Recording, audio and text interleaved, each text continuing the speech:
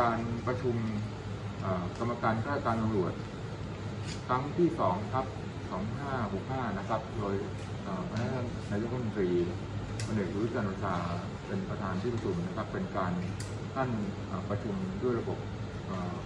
video conference นะครับ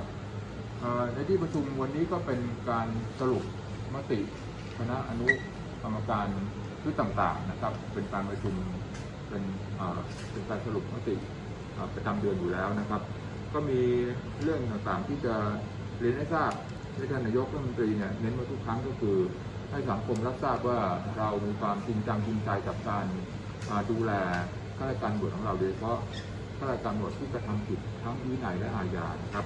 โดยในเดือนกุมภาพันเนี่ยมีตำรวจที่ถูกลงโทษทั้งสิ้นเนี่ย23รายนะครับ เป็นการไล่ออกราชการ 19 ปลดออก 4 ครับ โดยตั้งแต่ กราถึงกุมภาเนี่ยมีตำรวจถูกลงโทษทั้งสิ้นเนี่ยจำนวน 36 นายนะครับ ที่ออออกไปจากระบบนะครับ เป็นการไล่ออกทั้งหมด 29 แล้วก็ปลดออกจำนวน 7 รายนะครับ ก็นายกกำชับเรื่องนี้นะครับว่าถ้าคนไหนที่ประพฤติตนไม่ดีนะครับโดยเฉพาะทำผิดอาญาเสียเองผิดวินัยเนี่ยเราต้องมีความ จริงจัง แล้วก็รวดเร็วในการลงโทษตามระเบียบตามวินัยของเราครับ นอกจากนี้ท่านนายกรัฐมนตรีเนี่ยกำชับเพิ่มเติมนะครับเป็นเรื่องที่กำชับหลังจากการประชุมตามวาระเนี่ยสองเรื่องใหญ่ ๆ ด้วยกันก็คือ เรื่องแรกคือเรื่องที่พี่น้องประชาชนกำลังเดือดร้อนเรื่อง call center ต่างๆเนี่ยทั้งเรื่องล่อลวง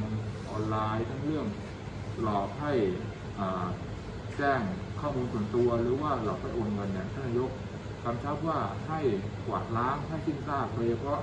ให้ไปถึงในายทุนเบื้องหลังจริง ๆ นะครับ ที่ขณะเนี้ยทางสำนักงานตำรวจแห่งชาติทุกส่วนเนี่ยก็ได้เรื่องรัดดำเนินการเรื่องนี้อยู่แล้วจะเห็นว่า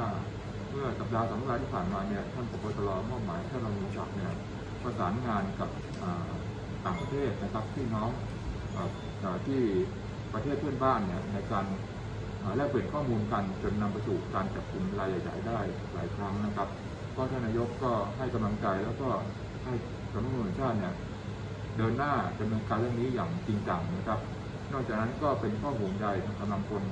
ที่ท่านนายกได้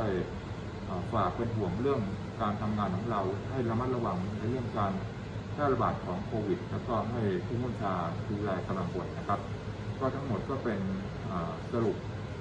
หลังจากที่ได้มีการประชุมในวันนี้ครับ